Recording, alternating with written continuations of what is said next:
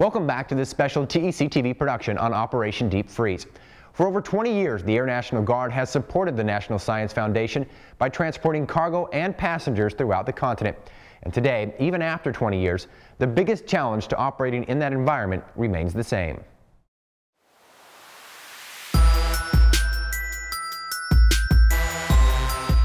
Ask anyone in Antarctica what the biggest challenge to working and living here is, and they will all say the same thing. It's the weather. The weather. Weather. And the weather. This weather. The weather. The weather. Never know what the weather's going to be like. The reason why they say that is because, uh, number one, weather does have such a profound impact on the operations here. Antarctica is the coldest, driest, and windiest continent on Earth, and many would argue the weather changes the quickest. In just 15 minutes, the weather can go from this to this.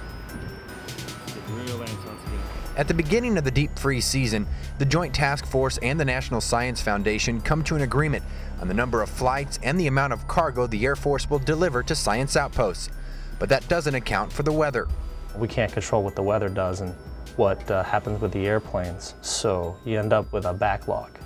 So at different times of the year, you could end up uh, really pushing the schedule to make sure that you get the, uh, the missions complete, or you start pushing uh, to add lines to the to the uh, to the mission because you need to get some people out of camps, you need to get supplies to them, and uh, to meet the the agreement that we have with the NSF.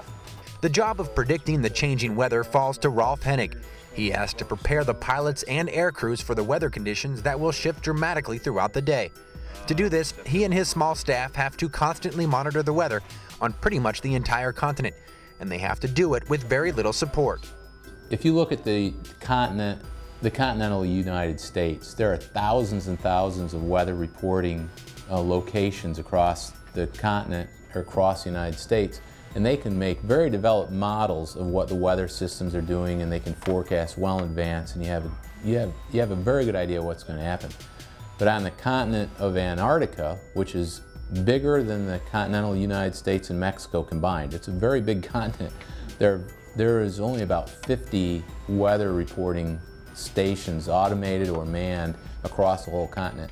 So it's very difficult to have a, a good weather picture of what's going on on the continent, the surface and at higher altitude. If the weather does change rapidly during an LC-130 mission, the aircrew may not be able to make it back to McMurdo. This means they would have to divert the mission and land elsewhere. They then would have to wait out the weather on the ground, and it's up to Staff Sergeant Sarah Chambers to make sure they can survive. Our stuff is there to sustain them, to get them home safely, get them back to their families. As an aircrew flight equipment specialist, Staff Sergeant Chambers is responsible for ensuring the aircrew has what they need to survive. She provides a number of different kits that are loaded on every aircraft and used in case of emergency. The kits have tools the aircrew can use to build a shelter, to stay clean, and to sleep comfortably, and she gets to inspect and prepare it all. Yaktrax, anything they can possibly, you know, use extra. 550 cord. Um,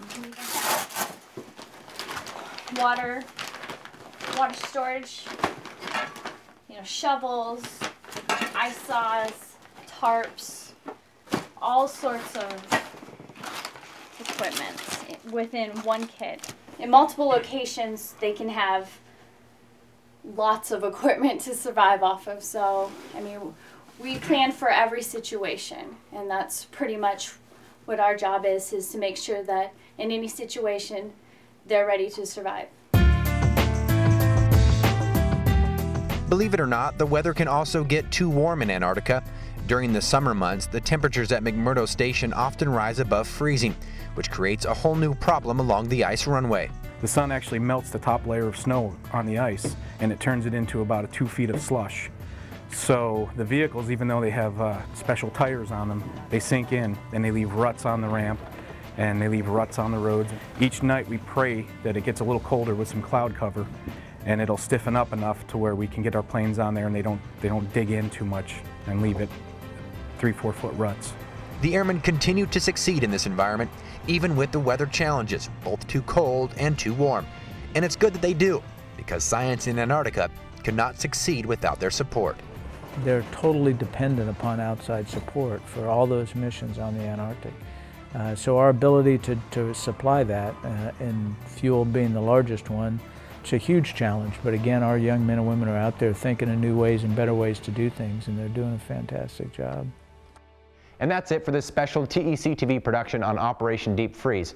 I'm Master Sergeant Lee Hoover. Thanks for watching.